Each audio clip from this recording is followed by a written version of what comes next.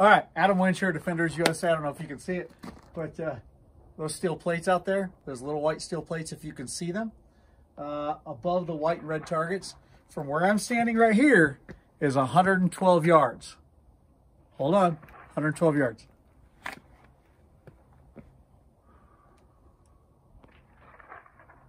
That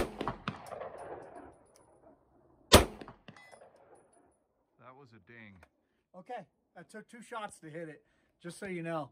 Uh, just 15 seconds ago, I loaded the handgun for the first time today, drove it out and shot, hit it first round. So I just wanted to show you that 112 yards. That plate is 12 inches by 12 inches. And okay, in this case, it took twice to hit it, but last time I hit it first round. So anyways, Adam Winch, Defenders USA.